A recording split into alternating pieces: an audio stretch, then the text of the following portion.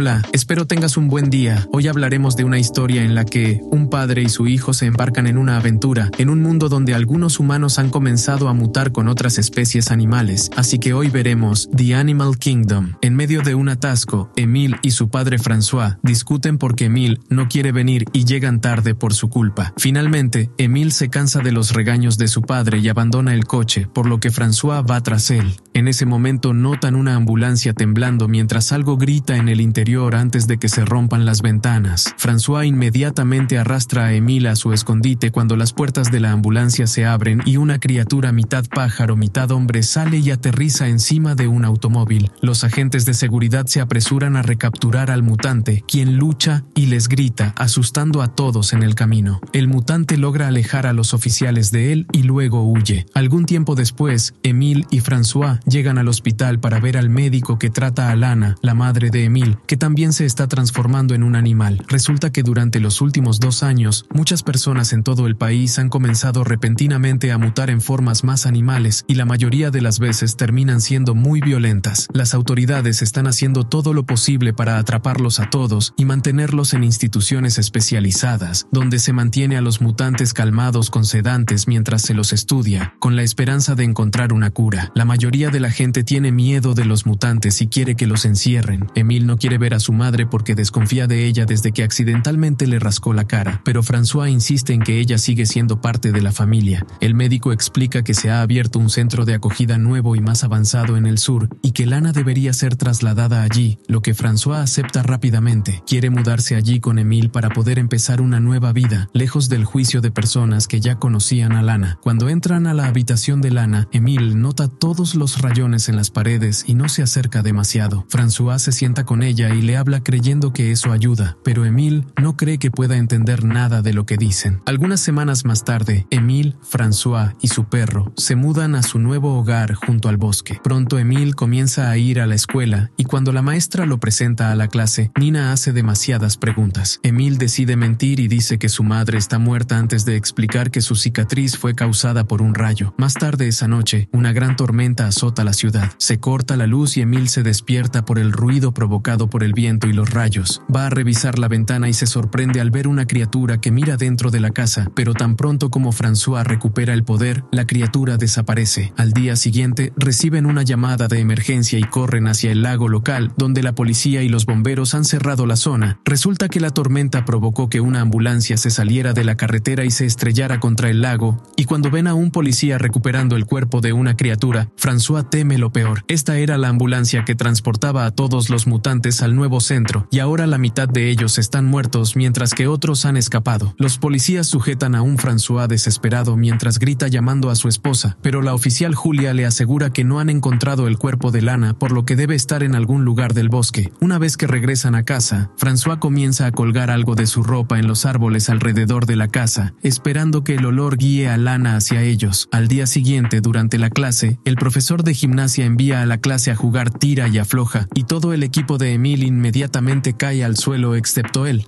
Sorprendentemente, es capaz de aguantar solo el tiempo suficiente para que sus compañeros se reúnan con él y ganen el partido. Después todos quedan impresionados por la fuerza de Emil y lo invitan a una fiesta. Sin embargo, Emil está demasiado ocupado inspeccionando sus dedos y corre de regreso a su casa, donde usa unas pinzas para sacar algo de debajo de sus uñas mientras grita de dolor. Se sorprende al descubrir algunas garras pequeñas, lo que significa que lentamente también está comenzando a mutar. Luego se mira la espalda en el espejo y nota que la forma de su columna también está cambiando. Furioso, tira cosas por el baño antes de meterse en la bañera para quitarse la vergüenza. Su perro se mete en la bañera con él para consolarlo. Mientras tanto, François va al supermercado y se topa con Julia, quien le informa que ya no están buscando porque el gobierno prometió enviar al ejército. De repente escuchan unos gritos porque los clientes vieron un mutante. Julia ordena a sus compañeros de equipo que evacuen el centro comercial, pero François busca al mutante para comprobar si es Lana. La criatura resulta ser un un calamar mutante que solo quiere comer algo de pescado, y cuando se da cuenta de que la han encontrado, les arroja una caja de camarones antes de huir. Continúa arrojándole comida al azar a Julia mientras la persigue, pero esto no es suficiente para detener a un oficial entrenado, por lo que Julia salta sobre ella para capturarla. François mira debajo de un expositor de comestibles y encuentra a otro mutante que parece terriblemente asustado, pero decide no decírselo a la policía. El viernes siguiente, Emil va a la fiesta y se divierte mucho. Sus compañeros admiran las espadas que trae un chico que hará una presentación en el próximo festival de verano. De repente, el alcohol empieza a hacer que Emil se sienta mal y se cae del asiento. Nina le entrega un medicamento y Emil no puede evitar que su cuerpo le lama la mano para recogerlo, lo que hace que los demás se asusten. Y avergonzado, Emil escapa por el bosque, escuchando los ruidos que hacen otros mutantes. A la mañana siguiente, Emil se despierta cerca del lago cuando oye el ruido de una lancha que pasa, encuentra sangre en la boca e inmediatamente escupe antes de irse, viendo grafitis antimutantes en su camino a casa. En su casa, corre al baño y arroja una pluma, lo que le hace darse cuenta de que anoche se comió un pájaro. Luego François y Emil ignoran las barreras dejadas por la policía y van al bosque a buscar a Lana. Emil le pregunta a su padre cómo se sintió cuando Lana empezó a cambiar y François le explica que nunca tuvo miedo. Ella seguía siendo su esposa, solo que un poco diferente. Cuando cae la noche, continúan la búsqueda en el auto, gritando por las ventanas mientras tocan la canción favorita de Lana a todo volumen. Terminan pasando la noche en el auto y por la mañana, Emil nota que sus uñas están cambiando nuevamente. De repente, su perro huye y Emil lo sigue, solo para descubrir a un niño camaleón en un árbol. En ese momento, el hombre pájaro del principio derriba a Emil al suelo y comienza a golpearlo con sus alas mientras sus garras lastiman su hombro, haciéndolo sangrar. Sin embargo, el hombre se congela cuando mira a Emil a los ojos y se da cuenta de que él también es un mutante. Los gritos de Emil hacen que François corra hacia su hijo, agarrándolo del brazo mientras le pide al hombre pájaro que se mantenga alejado. Una vez de vuelta en el coche, François anuncia que irán al hospital, pero Emil se niega porque descubrirán la verdad. Su discusión les hace casi chocar contra un caballo, pero François detiene el coche justo a tiempo y se dan cuenta de que han llegado a la escuela de equitación. La policía está cerca y Julia explica que un mutante atacó a los caballos, por lo que François aprovecha la oportunidad para pedir un favor. Una enfermera del ejército termina dándole a Emil los puntos que necesita y cree la historia de que el perro le mordió el hombro. Más tarde, en casa, Emil se quita algunos puntos y comienza a lamer la herida que gotea. Algún tiempo después, durante la clase de laboratorio, Emil se da cuenta de que Nina tiene un collar con una pluma como la que él vomitó y se asusta, pero Nina inmediatamente le llama la atención.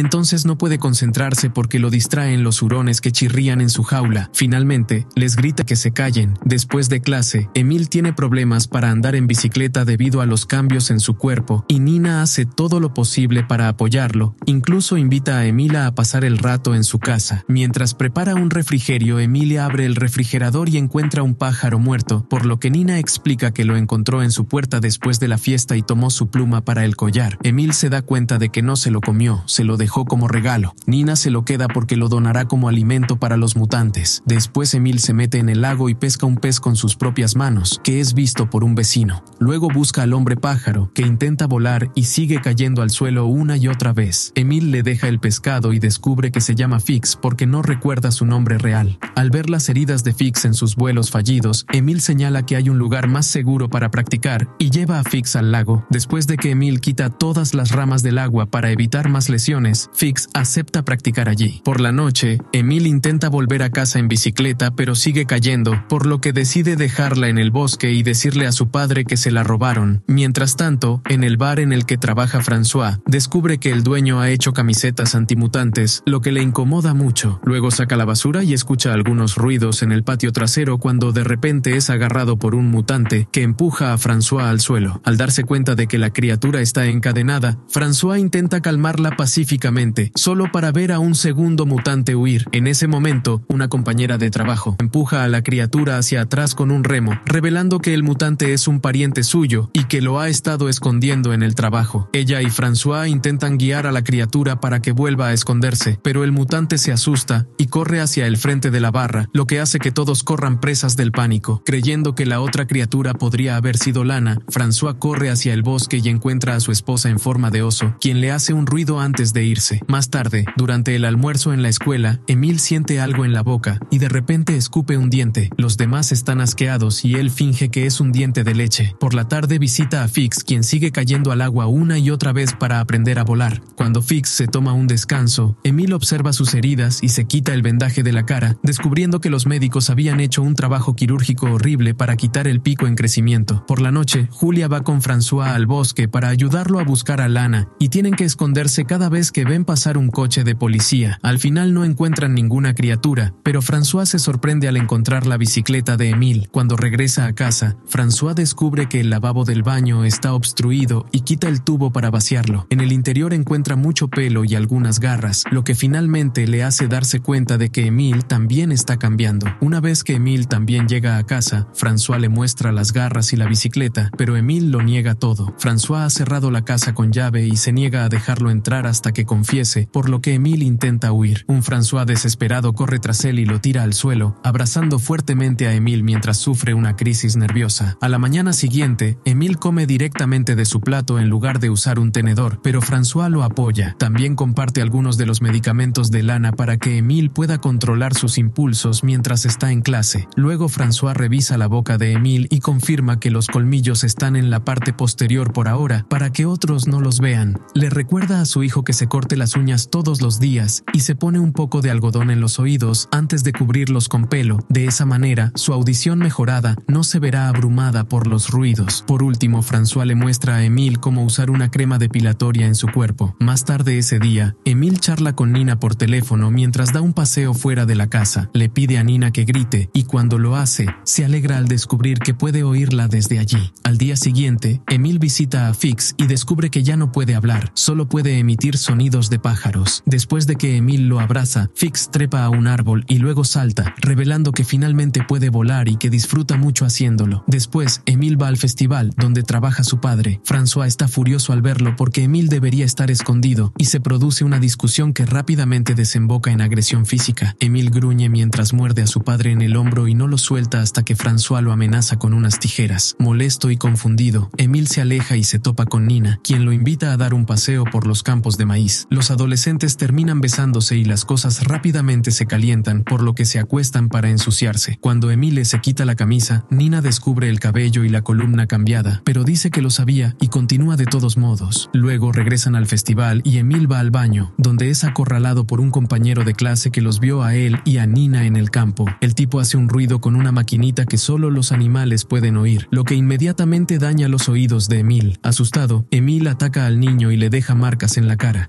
Inmediatamente corre a esconderse en el campo mientras el niño alerta a todos los lugareños, lo que hace que tomen sus armas y llamen a la policía. Pronto un perro lo encuentra, pero Emil lo ahuyenta con un ladrido. Al ver correr al perro, dos hombres abren fuego en esa dirección y empieza a sonar la alarma. Emil corre tan rápido como puede mientras un grupo de personas lo persiguen, y cuando un tipo está a punto de dispararle, Fix vuela y empuja al tipo, matándolo con sus garras. Luego Fix vuela hacia el bosque para que Emil pueda seguirlo. Un coche de policía también los persigue, y Emil cruza el lago para detenerlos, pero los hombres frustrados abren fuego desde el otro lado del agua y lamentablemente golpean a Fix. Emil inmediatamente corre al lado de su amigo y llora mientras Fix muere en sus brazos. Minutos más tarde, François y los cazadores encuentran el cuerpo de Fix, pero Emil no está a la vista. Mientras tanto, en la ciudad, un gran mutante se esconde mientras los camiones del ejército se dirigen al bosque. Al día siguiente, Emil se queda escondido en el bosque comiendo cualquier fruta que encuentra. Por la noche, trepa a un árbol y se une al coro de criaturas nocturnas con sus propios aullidos. La noche siguiente, una tormenta azota la zona y Emil se esconde dentro de una cueva. Se asusta cuando un oso se le acerca, solo para darse cuenta de que se trata de su madre. Chocan sus frentes para reconocer su amor mutuo y luego Lana se va, queriendo que su hijo la siga. Emil lo hace y descubre toneladas de mutantes que viven juntos en armonía, incluida la chica camaleón. En ese momento ve bengalas disparadas en el cielo, lo que significa que el ejército las ha encontrado. Emil y los otros mutantes intentan correr y esconderse, pero los soldados están usando el sonido doloroso para que las criaturas no puedan hacer nada más que caer al suelo doloridas y ser capturadas. La única que escapa es la chica camaleón, que utiliza el camuflaje para esconderse. Más tarde, en la comisaría, François ayuda a Emil a declarar que estaba borracho y acabó en el bosque por error. Sin embargo, cuando Emil tiene que firmar los papeles de liberación, su mano no puede agarrar el bolígrafo y rompe la hoja. Cuando el policía le da uno nuevo, Emil no puede evitar gruñirle, por lo que François inmediatamente empuja al policía para derribarlo antes de que pueda dar la alarma. El oficial se golpea la cabeza y se desmaya mientras François sella el documento él mismo, luego rápidamente se lo muestra a la recepcionista y se va exitosamente con Emil. Luego se suben al coche para salir de la ciudad. Pronto la policía comienza a perseguirlos, pero François le promete a Emil que no irá a ninguna institución y conduce lo más rápido posible, atravesando una valla para llegar al bosque. Entonces François le dice a su hijo que corra, y Emil lo hace mientras aúlla de felicidad. Espero te haya gustado el video, si fue así, recuerda dejar tu like, suscribirte y activar la campanita. No olvides comentar abajo tu parte favorita. Bueno, hasta la próxima. Adiós, bye.